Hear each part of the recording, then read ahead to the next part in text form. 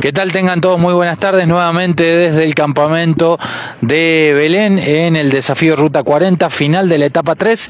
Podemos decir que los salteños han terminado eh, en su totalidad porque lo tuvimos a Luciano Benavides al mediodía, también a Alfredo Olmedo hace un rato nada más y han llegado Ramón Núñez con su eh, compañero de equipo Juan Cosianzi. Así que le queríamos preguntar, eh, Ramón, Juan, ¿cómo le fue hoy teniendo en cuenta que ayer han llegado un poquito tarde? Ah, sí, bueno, lo que pasa es que ayer tuvimos roturas importantes y bueno, solucionamos igual, pero entramos tarde. Y hoy la verdad que fue un día bastante bueno para nosotros, este, con lo cual anduvimos, anduvimos bien, digamos, bien en general, ¿no? Porque teníamos trial, teníamos este, duna, hoy fueron bravas las dunas, pero bueno, pudimos salir y estar un poco más, este, más, más activo, digamos, ¿no? Con el tema. Así que bien, te diría que bien. Yo creo que mañana ya el último día acá en Belén que también va a ser bravo, este, y creo que más duro que los demás. Así que bueno, y después ya iremos para la casa, para Salta. ¿Cómo hacen para, para eh, competir un día como hoy después de haber llegado tan cansados ayer, Juan? Porque son pocas horas de sueño. Hoy por lo menos van a tener un poquito más de descanso, pero ayer debe haber estado complicado. Esto es Dakar, men. Este es Dakar. Trabajamos hasta las 3 de la mañana anoche reparando una parrilla que se partió ayer y bueno, dormimos tres horas y salimos a recorrer la ruta que fueron fantásticas, el recorrido espectacular, muy lindo, unas dunas muy pesadas. Eh, tuvimos un problemita con el GPS, pero leímos el libro, así que pudimos llegar y estar acá ya tranquilo, contento y temprano. Bien, eh, Ramón, con varios Dakar encima, eh, este desafío Ruta 40 se presenta con muchos inconvenientes para los pilotos, para todos, porque desde Nasser a la Tilla en adelante, todos han dicho esto es más complicado hasta que una etapa dakariana. ¿Cómo, cómo lo viven ustedes? Sí, sí, totalmente. En esto no hay que este, desestimar, digamos, ni esto, esto es duro, es duro. Esto es un medio Dakar, digamos, de los que se hace normalmente. Este, con lo cual no deja de ser difícil porque Argentina tiene este, y más nosotros, la Catamarca, La Rioja, San Juan, tenemos parte que ya en los Dakar anteriores eh, se, se, los nombraba con, con, respeto, ¿viste?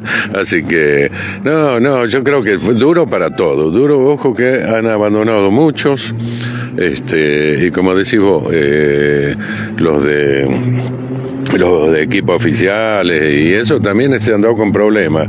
Así que bueno, no nos podemos quejar, mira, nosotros la vamos peleando. Bueno, eh, en la general, eh, como bien, no sé si están muy atentos a esa situación, sé que está Blas Zapag y hay también un piloto eh, paraguayo. Están los tres ahí peleando, estaban los tres en camino. ¿Se ve un poco eso? Al final del día no tanto. No, no, porque si nos ponemos a pensar en eso, tendremos que acelerar y romper que, rompan ellos. Entonces, no te digo que vamos tranquilos, pero vamos con un ritmo de carrera que ya lo encontramos y para que no se haga de noche, ¿viste? Porque Ramón es mano suelta y tiene la mano larga, entonces hay que cuidarse de eso y tratar de llegar temprano. Bien, perfecto, vamos a obviar esa parte, pero...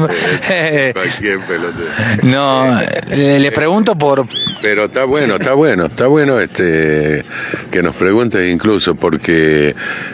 eh, todos los días son distintos, ¿viste? El terreno, el vehículo, el, eh, la, hora también, ¿viste? Te, agarra de oeste a este, el, sol te mata, es, todos los días tenemos algo nuevo, pero como te digo, yo este, no dejo ni, ni, en los, ni en los Dakar, en nada, este, no, no, no, nadie regala nada en esto, nadie regala nada. ¿No ha tenido la posibilidad? Bueno, la mayoría de los pilotos, porque Okay eh, casi que no se ha dado un final de competencia en Salta, sí algunos días de descanso en Dakars, pero ¿cómo se imaginan, Ramón, ahí con tu familia, siguiéndote de cerca en, la llegada a Salta? Ya, ya un poco se espera porque quedan nada, horas, mañana, y pasado. Y pasado.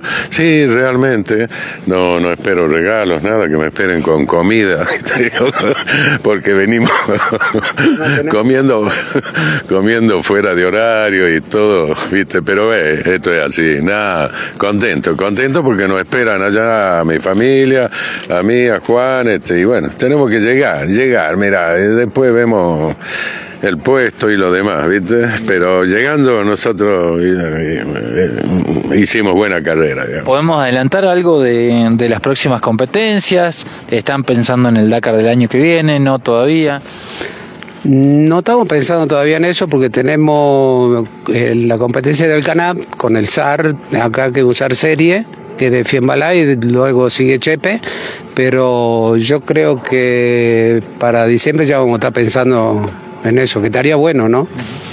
Bueno, eh, con la idea de estar nuevamente. Seguramente, así que bueno.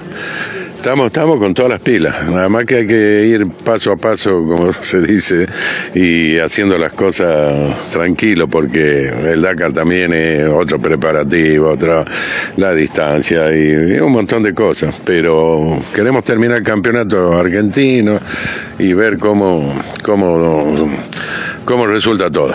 Perfecto. Bueno, eh, Juan, eh, Ramón, les agradecemos un montón.